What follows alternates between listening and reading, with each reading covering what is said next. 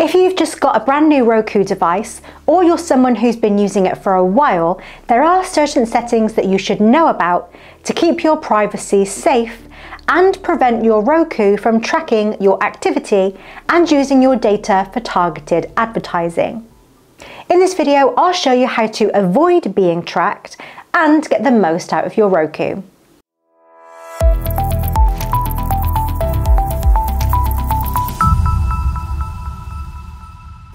It's really important to protect your sensitive information while using the internet.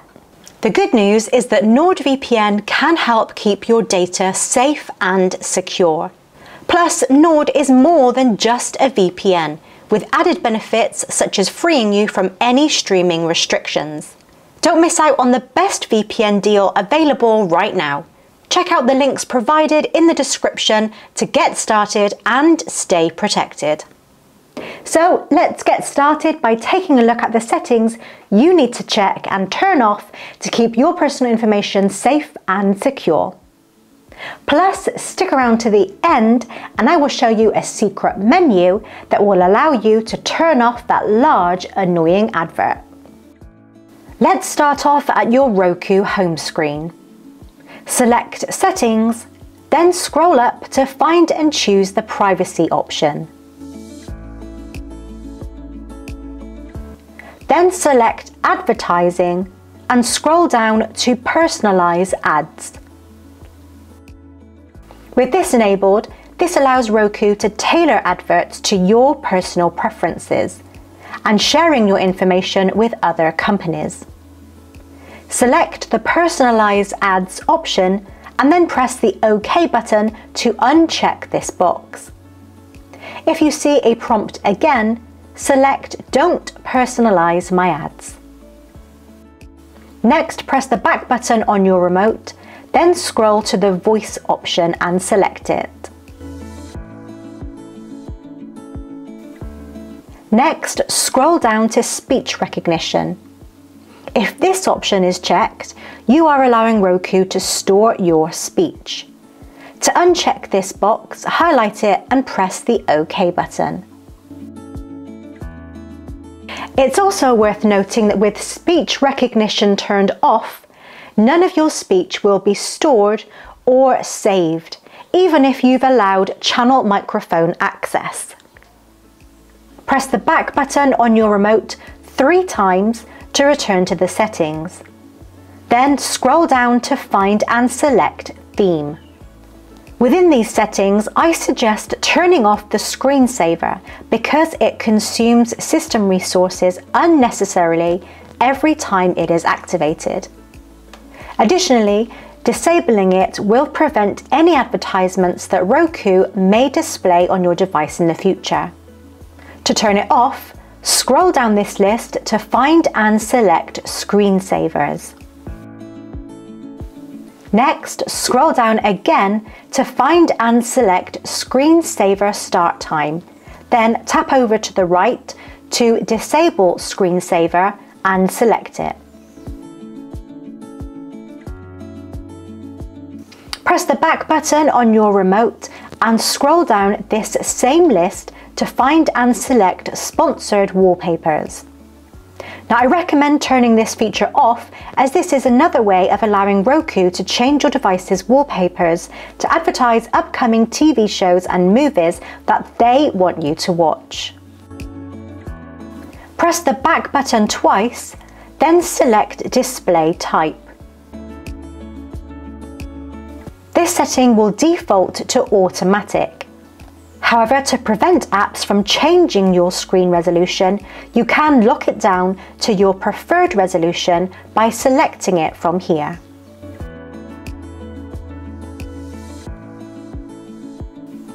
Press the back button once on your remote and let's now take a look at accessibility. This section is designed to provide extra help to those who need it.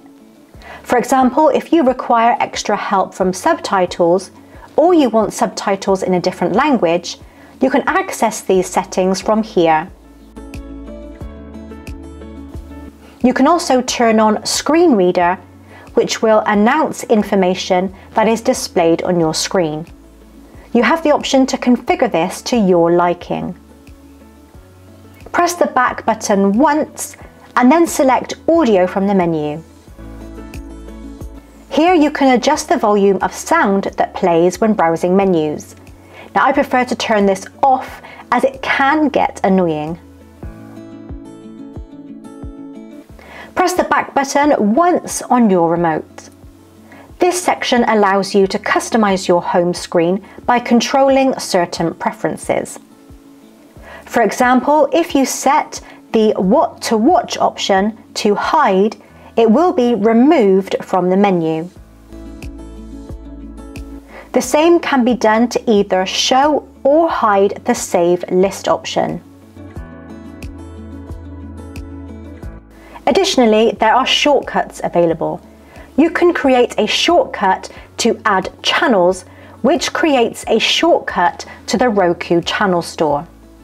The TV off option lets you turn off compatible TVs using your Roku.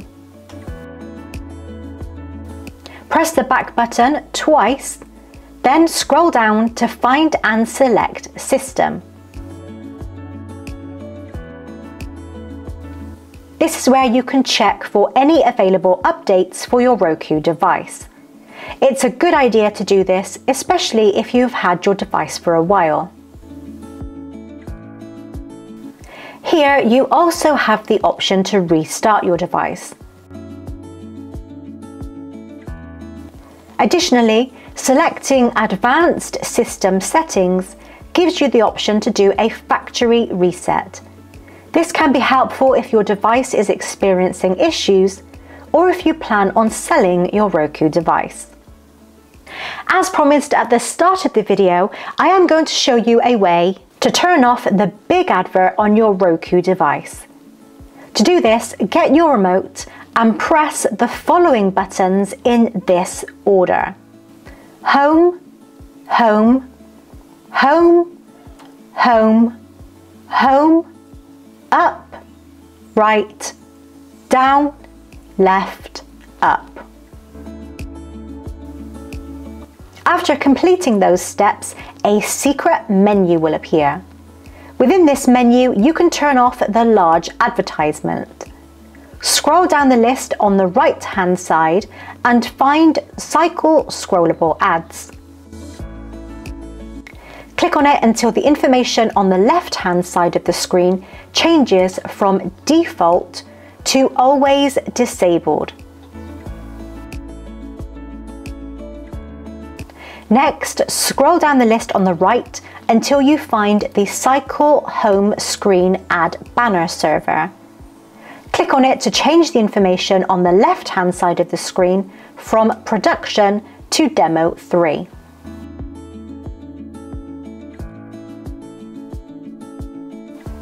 We've now finished with this secret menu, so return to your Roku home screen by pressing the home button on your remote. This should now have turned off the large advert. However, if it hasn't worked, try restarting your Roku device. You may need to do a restart several times for the changes to take effect.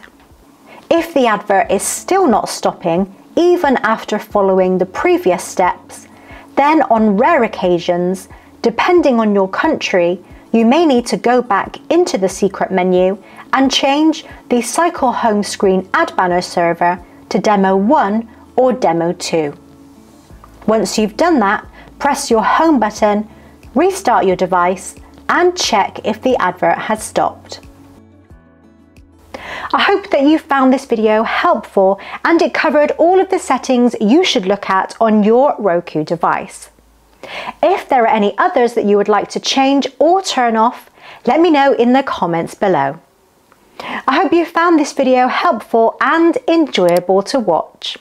If you did, please consider giving it a big thumbs up and subscribing to my channel for even more awesome tech tips and product reviews.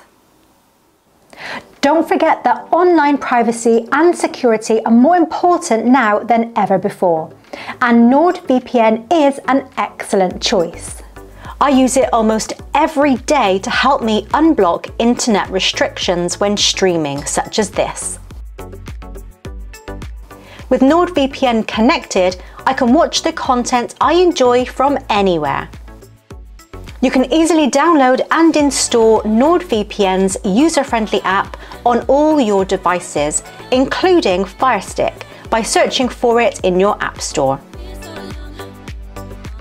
With NordVPN, simply connect to any one of their servers to ensure that your online activities are unrestricted and protected from prying eyes and potential cyber threats. The Nord app has some very useful features for your Fire Stick, including threat protection to help keep your device safe from potential security threats by blocking access to malicious websites. Plus, AutoConnect makes connecting to a secure server a breeze by automatically connecting to a network without having to manually do it every time you want to use the internet.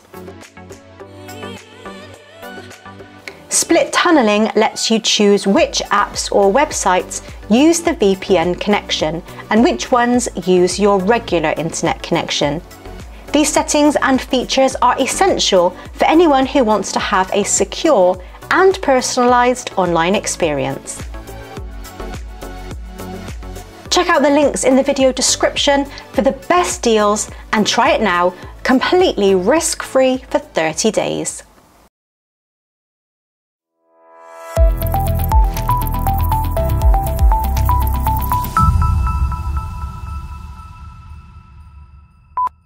If you did, please consider giving it a big thumbs up and subscribing to my channel for even more awesome tech, tech, tech, tech tips and product reviews.